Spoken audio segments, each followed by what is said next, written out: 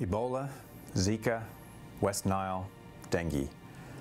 All of these are diseases caused by pathogens that have recently spread to new regions and continents, including North America. Why? One of the main reasons is that the world is now more interconnected than ever before. With international trade agreements and advances in technology, travel and shipping are now fast, cheap, and safe.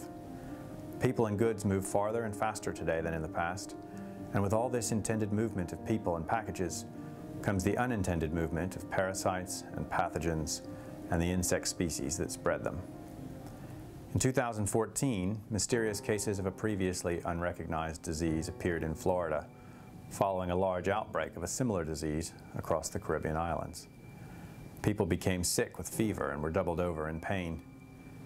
It was a disease called chikungunya, which means contorted with pain in the native language of the people where the disease originates in East Africa. Surprisingly, many people affected by this disease had not traveled outside of their home country. The disease was being spread locally. Chikungunya is caused by a virus transmitted by mosquitoes.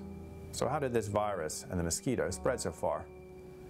One mosquito that spreads the chikungunya virus is the Asian tiger mosquito, known by the scientific name Aedes albopictus, and it has traveled the globe from its native home in Asia by hitching rides on cargo ships.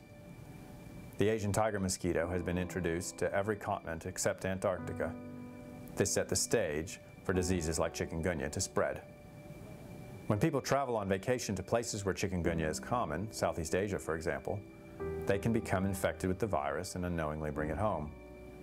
If they live in an area where the Asian tiger mosquito thrives and are bitten by one of these mosquitoes, it's possible the mosquito can then spread it to others in their household or to neighboring communities.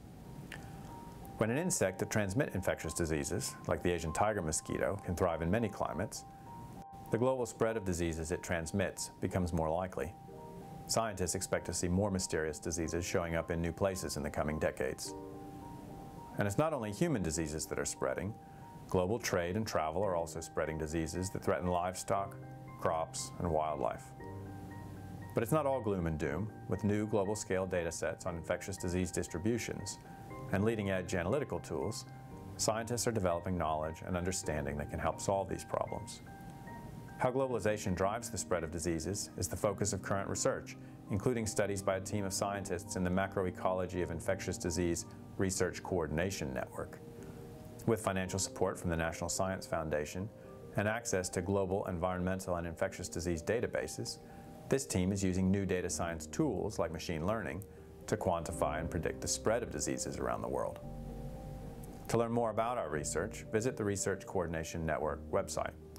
To learn more about chikungunya and other mosquito-transmitted viruses, check out what the CDC has to say.